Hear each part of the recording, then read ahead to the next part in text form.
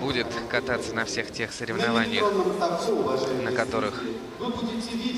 ему надо выступить, вне зависимости от того, что там у него будет происходить со здоровьем, потому что